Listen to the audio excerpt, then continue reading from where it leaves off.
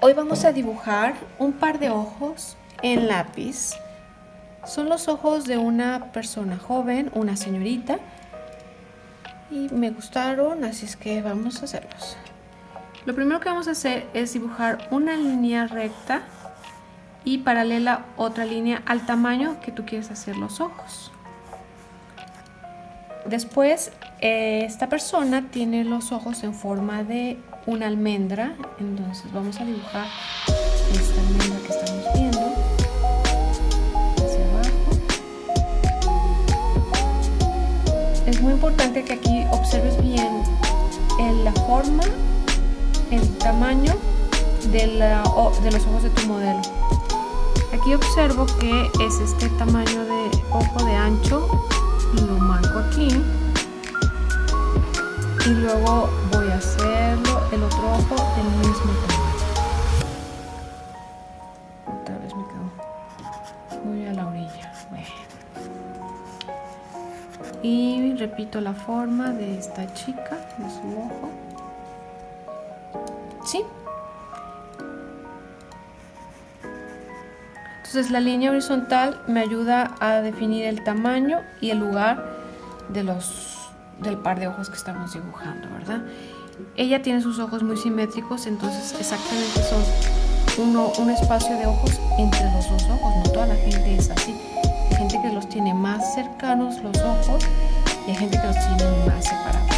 Pero la regla dice que son en medio de los dos ojos hay un tercer ojo.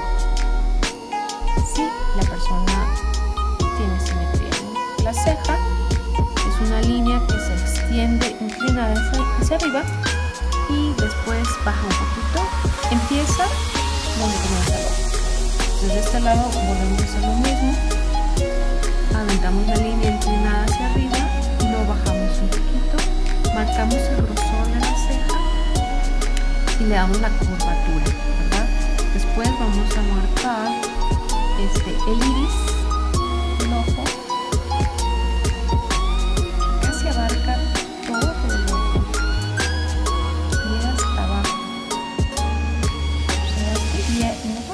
es así. Hay personas que su iris es más pequeño y, tienes más, más espacio o depende de hacia dónde esté dirigiendo la mirada, también puedes tener más espacio de, retina, ¿no? En la parte de abajo. Entonces, bueno, aquí ya este me quedó muy grande, vamos a hacerlo más pequeño. Busca la simetría entre un ojo y el otro, ¿no? no son iguales, pero sí buscamos un poquito de simetría. ¿no? Después vamos a poner este, la pupila. La pupila y la luz que, que proyecta el ojo y la pupila nos está diciendo hacia dónde está mirando.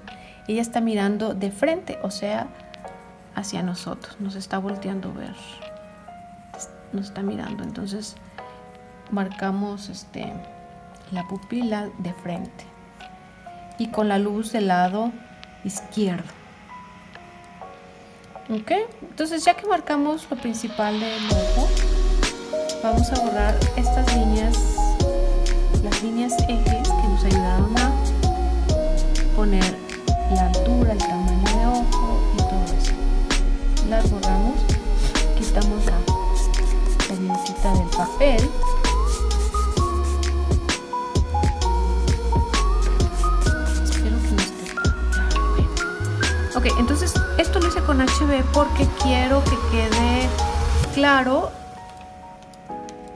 pueda corregirlo cada vez que me equivoco. Pero y voy a ir subiendo poco a poco el valor tonal. Voy a empezar con la ceja con un color, con un color, con un lápiz 4B y voy marcando las cejas en el sentido que van las cejas.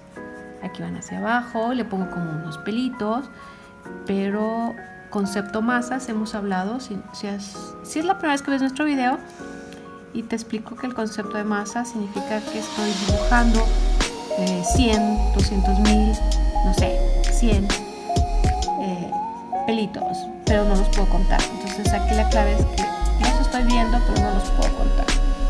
Regreso con el HB y dibujo la parte clara de la C, también en forma de pelito.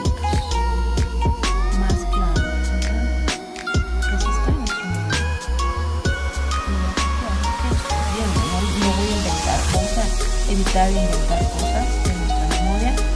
lo más seguro es que lo que tú estás inventando no está padre. Al menos en esta etapa, ¿no? Estamos, pues curso es para principiantes. Estoy hablando como una persona que estás empezando a pintar o tienes poco tiempo pintar, Si quieres avanzar más, abajo en la descripción te dejo el link donde puedes tomar cursos un poquito más avanzaditos para que vayas subiendo de nivel. ¿Ok? Y compártelo con algún familiar, un conocido que sabes que le gusta dibujar. También síguenos en nuestras redes. Tenemos Facebook, Instagram, eh, TikTok y qué más. Correo. Cualquier duda, pregunta, aclaración. Oye, quiero dibujar Erika, quiero dibujar este una persona negrita, ¿cómo le hago? Ah, bueno, claro, te hago un tutorial. ¿Ok? Entonces, con el HB remarqué un poquito el ojo, el pliegue del ojo. Este pliegue nos ayuda a abrir y cerrar nuestros ojos cuando dormimos, parpadeamos. ¿no? Entonces, es importante que lo dibujemos. Luego, en líneas hacia el centro, hacia el centro de la pupila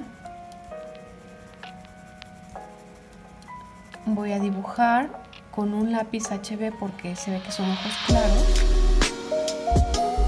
Y aquí voy a poner, dejar el espacio blanco del papel para que se vea que es la luz que proyecta que cae directo sobre el ojo y que como te decía hace rato nos, este, informa hacia dónde está viendo esta parte de aquí tiene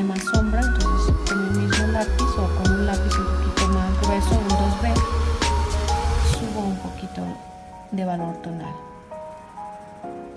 Aquí, eh, un poquito la línea de aquí, la remarco. En la parte de abajo del iris, marco una línea y remarco.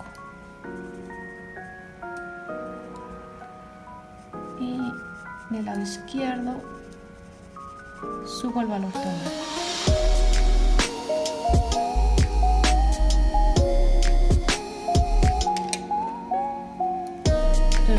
Entonces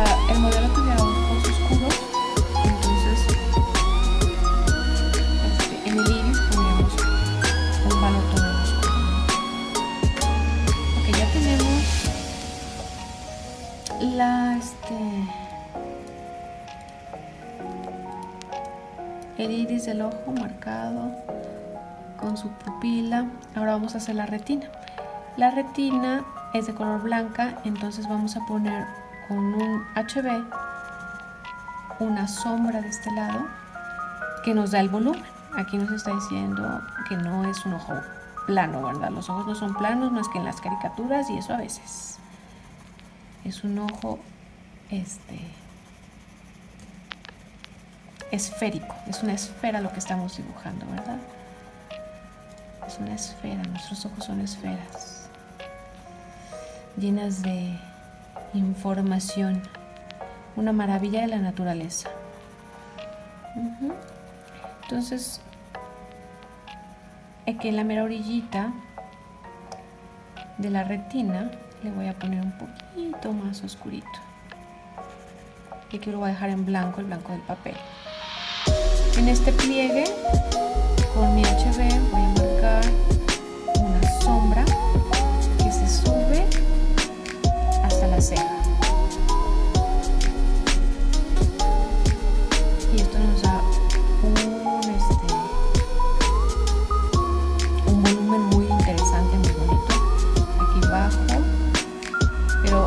pero así con ese medio tono aquí claro, que también. Aquí subo un poquito el valor tonal, pero sigue siendo un valor claro. Aquí le pongo otro poquito de sombra en valor tonal claro y lo extiendo y me extiendo hasta acá dejando este tono muy bajo ahí. Ya tengo una buena base para empezar a poner algunos oscuros en el ojo. Voy a tomar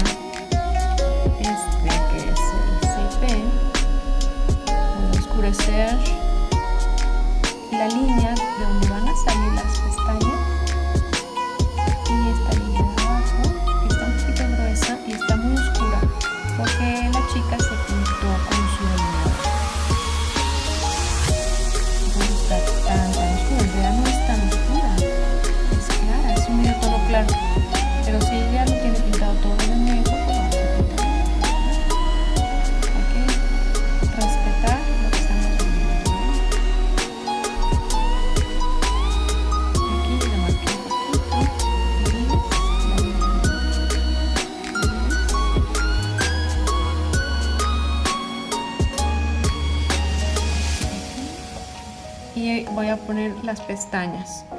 Las pestañas se ve, ah, se ve que trae pestañas artificiales. ¿Cómo se llaman? Pestañas postizas. Postizas es la palabra. Entonces baja un poco y sube, baja y sube. O sea, para que tengas esta curva, baja y sube. Concepto de masas, recuerda. No puedo contar las pestañas, no se deben de contar. A veces he visto dibujitos donde puedes contar cuántas pestañas tienes. Eso es imposible. Nadie, a nadie en su sano juicio tiene 10 pestañas en su ojo. ¿no? O sea, no se pueden contar. Ni las hojas de un árbol, ni el pasto en, en una pradera. No podemos contar cuántos pastos estamos viendo. Entonces remarcamos algunas pestañas. Se ve que son postizas, pónselas así las así están. Así las ponemos. ¿Verdad? Y en la parte de abajo vamos a hacer lo mismo. De esta línea vamos a sacar las pestañas. El mismo concepto de masas. Le damos la curvatura. Las pestañas de abajo son más cortas que las de arriba. ¿Cierto, chicas? A lo mejor algún joven nunca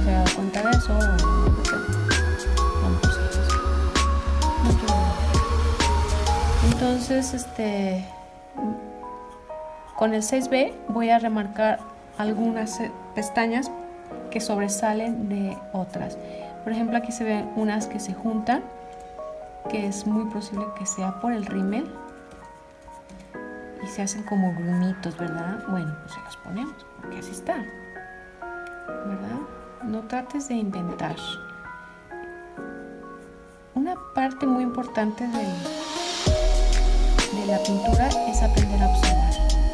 Y más, entre más fiel seas con lo que estás observando, mayor calidad de obra. Después que ya aprendiste a, observar y a dibujar bien y, tienes unas buenas tablas, entonces ya que conoces las reglas ya puedes romperlas. Pero no empieces rompiendo reglas, o sea, eso no funciona. Primero apréndetelas, aprende a manejarlas y después ya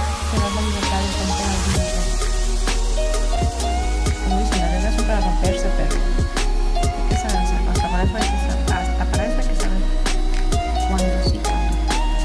Haciendo un poquito la sombra hacia el lado izquierdo, en medio tono más claro, solo para enmarcar un poquito el ojo. Este ejercicio solamente es el ojo, entonces no necesito poner gran detalle de ya tenemos el ojo izquierdo. ¿Por qué hice primero el izquierdo? Para que con mi mano no manche el dibujo. Si hago primero el derecho y luego me paso para acá, es muy probable que mi mano va a manchar el ojo que ya hice. Entonces siempre ve de arriba hacia abajo, de atrás hacia adelante y de izquierda a derecha, ¿ok? Entonces ahora vamos al siguiente ojo y vamos a repetir lo mismo. Vamos a marcar algunas cejas. Aquí tiene más sombra, entonces desde un principio voy a usar un lápiz 4B para hacer un medio tono un poquito más oscuro. Y repito el mismo concepto de masas, donde estoy dibujando con unas líneas las cejas, pero en un concepto donde no las puedo contar. No puedo contar cuántas cejas hay ahí. Y bajo, conforme va la ceja, respeto la forma y la dirección del trazo. Es muy importante respetar la dirección del trazo. Pues no nos entiende lo que estás dibujando cuando no respetas la dirección del trazo. ¿Ok? Aquí voy a poner un medio tono, cambié de lápiz a lápiz HB otra vez, porque es mejor empezar con algo clarito y ir subiendo a que te avientas a poner un valor tonal muy alto y de repente si chino era más claro, ya no lo puedes borrar, al menos no en lápiz, ¿no?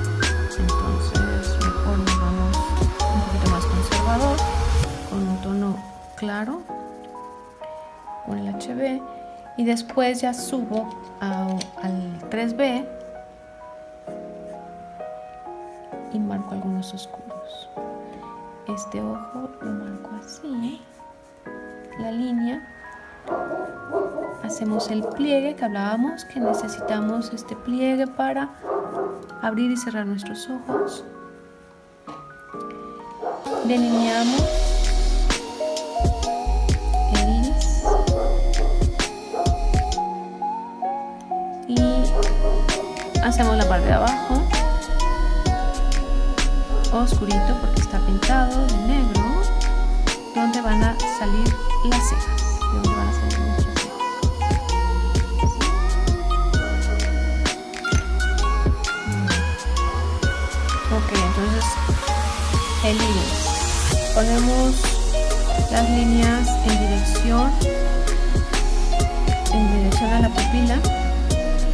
rectas en a la pupila hacia abajo. Respetamos la parte de la luz. Y dejamos el blanco de papel.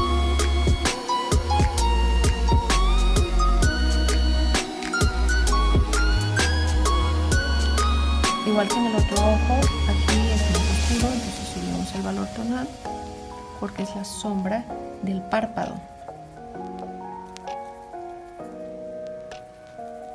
aquí está otro poquito más oscuro.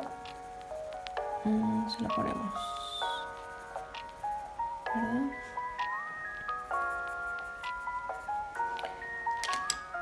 Remarcamos la pupila más oscura, más negra.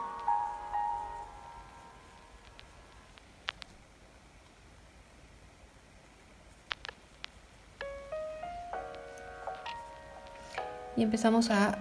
Ah, no, aquí, aquí hay una sombra. De una vez la voy a marcar. Estoy usando el 6B del lado derecho.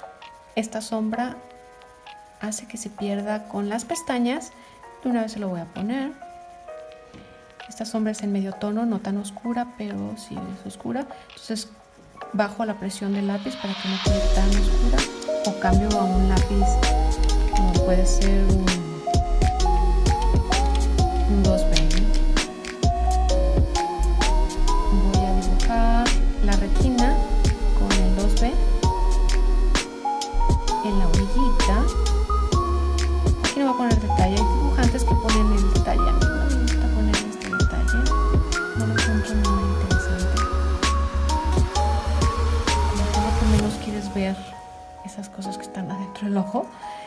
se las pongo si se las quieres poner adelante licencia artística y le damos el volumen a la retina.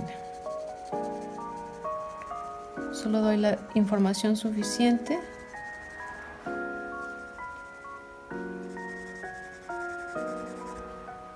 Marco más esta sombra del lado izquierdo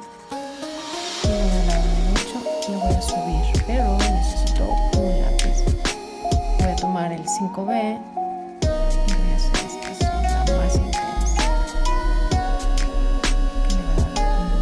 muy bonito a esta parte del ojo y aquí se pierde con la ceja la. Entonces, ya que tengo toda esta información,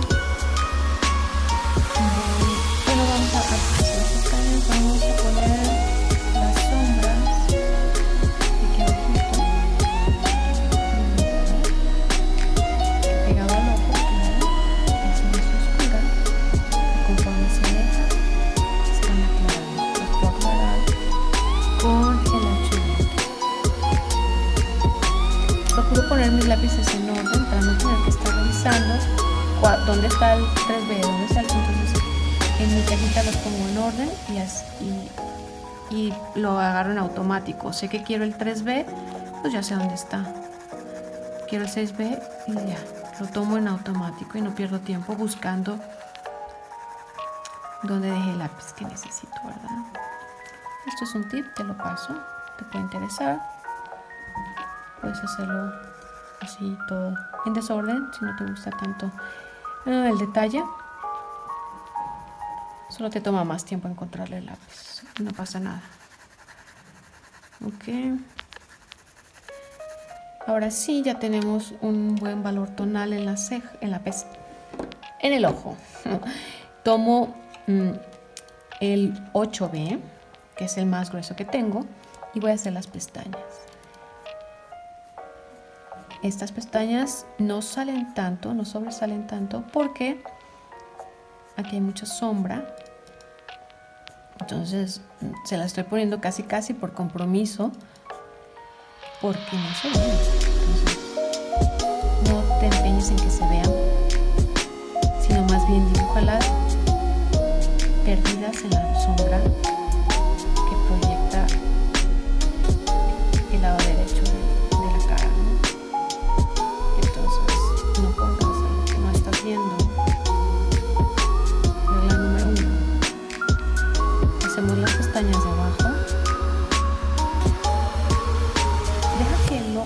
Espectador cierre las líneas.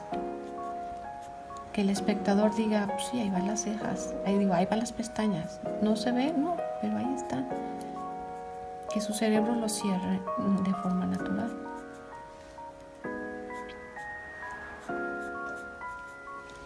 Entonces voy a subir un poquito la ceja. Ya vi que le faltó un poquito, pero no se puede ver hasta que no tengo todo lo demás resuelto. Es que veo algunos